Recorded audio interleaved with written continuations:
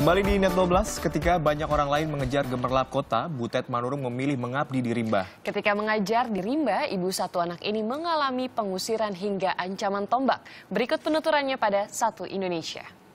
Maksudnya apa sih eh, Mbak Butet ketika mengajar eh, orang adat? paling susah itu ya budayanya dan paling susah lagi karena nam- namanya komunitas adat nih kan suka di apa ya bahasa LSM-nya dimarginalisasi ya atau dibedakan gitu jadi ngelihat orang luar udah langsung curiga aja nggak mungkin nih temen pasti dia ada udang di balik batu gitu pasti mau apa gitu jadi uh, challenge yang paling utama tuh ya untuk jadi teman aja dulu susah. Aku perlu waktu tujuh bulan. Yang yang paling sedih itu ya waktu uh, aku mulai ngajar-ngajar ya, walaupun belum resmi waktu itu cuma ngajar-ngajar nulis-nulis di di tanah pakai ranting gitu. Terus uh, belajar-belajar angka itu um, temenggungnya kepala sukunya meninggal kan dan itu mereka bilang karena aku ngajarin mereka baca tulis karena aku datang ke situ. Saat itu gimana? Itu kan kepalanya yang Iya, meninggal. aku aku diusir, nggak boleh datang lagi. Dan bilang "Eh, sudah aku bilang ibu, eh,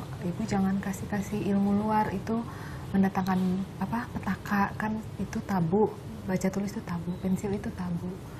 Aku sampai sa- waktu itu sampai ter- terpikir jangan-jangan iya ya emang benar-benar baca tulis nih membawa petaka untuk orang yang eh, apa yang murni tidak mau apa diganggu oleh budaya luar gitu. kearifan lokal yang bisa diambil dari kehidupan eh, orang rimba yang Mhm. mungkin kita sebetulnya juga bisa apply and it's actually quite good gitu. Oke, yang yang paling sederhana itu sungai.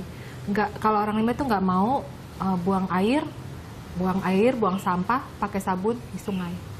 Jadi mereka waktu ke kota mereka heran, bu di sini sekolah semua kan, ya kok kok sungainya kotor ya? Jadi seharusnya orang modern itu harus bisa belajar mencintai lingkungan kepada orang rimba. Nah ya itu Yes. contoh sederhana aja.